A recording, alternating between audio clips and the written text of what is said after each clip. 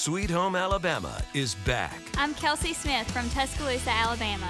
I'm here hoping to meet the man of my dreams, someone I can count on. I'm a pretty simple girl. I always thought I'd fall in love with a nice country boy, but there's no telling what could happen.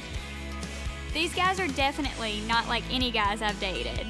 I want the whole nine yards. I'm ready for it. A new love story begins on Sweet Home Alabama, Friday, November 15th at 9, 8 Central. On CMT.